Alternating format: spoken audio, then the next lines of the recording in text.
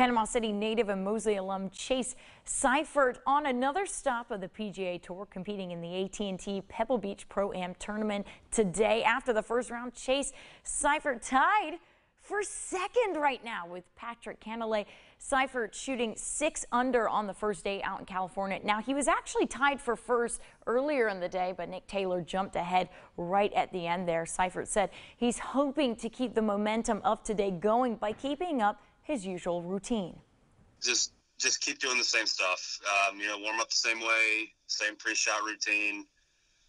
In the end, it's just golf. I know I'm in a kind of a new position here in the lead, but in the end, it's just the same stuff I do all the time. It's still golf. So just put one foot in front of the other and uh, stick to my routines, the, the stuff that got me here, and uh, see how it does over the rest of the tournament.